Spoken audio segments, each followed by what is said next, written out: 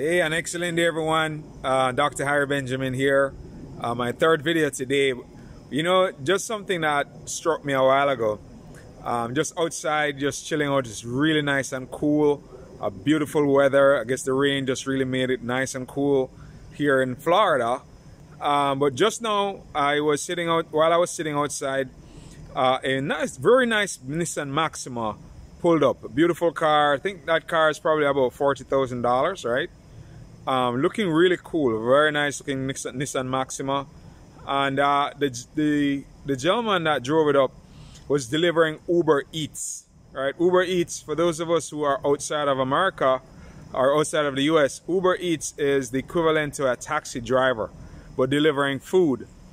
Um, so the message there is that the you know the gentleman is in his early 40s and he's looking for extra income obviously why he's delivering Uber Eats on a Sunday night at uh, what time is it now? Uh, uh, nine something in the night, and he's delivering food. And why is he doing that? Is it that he really wants to, you know, serve the person who is delivering the food to?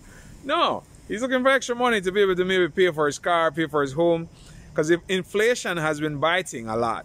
So that's a clear message to me that you know people out there are hurting and we have an opportunity here in XtreamFX Global Academy that can help people to meet those shortfalls and exceed them. In fact, and earn way more money than they would have earned delivering Uber Eats. So ladies and gentlemen, it's our moment, it's our time. You know, you want to get back to the person that gave you this video or gave you our channel to come and watch what's happening.